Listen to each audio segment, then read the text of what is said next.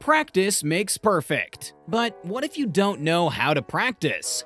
Or what if you're practicing in a way that isn't very helpful to you? This video will help you optimize your mechanical practice in Overwatch 2, while helping you eliminate any bad practice habits you may have. There are several nuances in how people practice. The first of these being people's approach. Setting aside a certain amount of time for practicing every day is all well and good, but if you don't maintain that consistency, it will ultimately be less effective. Please, I have a family. I have a family. I have a family. Some people practice by playing ranked and autopiloting. While you still may gain some essence of skill from this, there is no way that it will be as beneficial as if you are fully locked in. During whatever practice you deem appropriate, it is important to be aware of the mistakes you make. For instance, in the Apex Legends Global Series Split 1 playoffs, there was a player who brought a notepad with them that they had been writing their mistakes in and reviewing them right before they would play. He would write down things that he could improve on or the team could improve on on his phone, and he would reread it before he plays. Having your weaknesses displayed before you like that will not only let you be more aware of your own decisions, it will also help you be a better teammate to those around you. There are always certain tools you can use to work on these problems that you are aware of whether it be movement, aim, or positioning. The approach to aim training is always a little more difficult than movement or positioning, because of how reliant it is on raw skill. Movement and positioning can be learned in a set amount of time, but consistent aiming is something that comes with hours upon hours of practice. When practicing aim training, it is important to fully focus on your target. This helps you to focus on reading the target's movements better, when you're able to read your opponent's movements, it is vital to pace your shots and not overreact to the movement.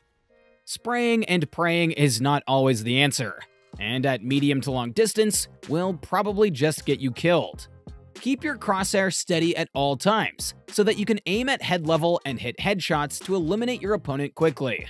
Make smooth, clean motions when approaching targets. Sharp movements are flashy, but unless you are extremely accurate with them, they actually slow down your time to kill. While you ideally want to land on the target directly, it is often preferable to underflick instead of overflick.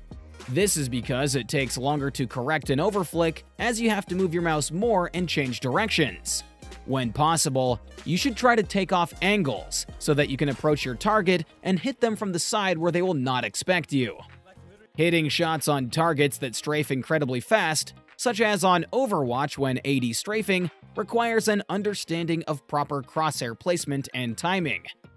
You often see Widowmakers having their target in their sights and not shooting until they know they have a guaranteed headshot.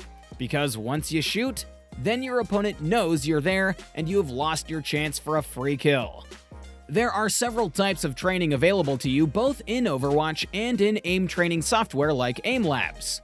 In Overwatch, there are workshop modes that can help you train your aim against fast, long, and short strafes, headshotting tracer, and tons of other helpful modes. In addition to the workshop modes, there are also free-for-all modes and 1v1 modes that can be beneficial when you fully focus on practicing within these modes. In AIM Labs, Voltaic has several training scenarios created specifically for Overwatch, with the core ones being the Overwatch fundamentals and more specific hero fundamentals for those who want to focus on one hero at a time. The Voltaic Introduction to AIM Training is a great way to get started on your AIM training journey. This video gets you accustomed to some AIM terminology, introduces you to the Voltaic rank system, and gives you pointers as a beginner. With these different modes and ways to approach aim mechanics in mind, the last thing we will focus on is the way to structure your daily practice.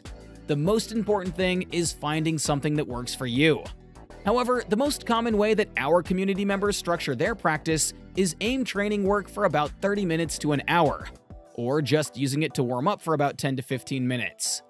Many people will substitute aim training work for different workshop modes as well. Our official recommendation is 30 minutes of aim training, 20 minutes of tryhard free-for-all, and 10 minutes of workshop practice mode. However, feel free to adjust the training to your needs and personal preference. For the 30 minutes of aim training, use either your Overwatch fundamental routine or the hero-specific one if you want to focus on only one hero. For tryhard free-for-all, practice or warm up on the heroes that you will be playing in Ranked. For the workshop mode, try playing these three scenarios VAXTA, BWGAP, 1W5D2. While queuing, you can always play VAXTA or Widow HS just to improve your mouse feel. By using this structure, these methods, and approach to mechanical training, we believe you will inevitably become better and hopefully advance ranks in no time. By adopting a proper training method and structure, you are not only getting better practice, but also increasing confidence in your own ability to perform. Thank you for watching! If you enjoyed this video, make sure to leave us a like and subscribe for more content like this.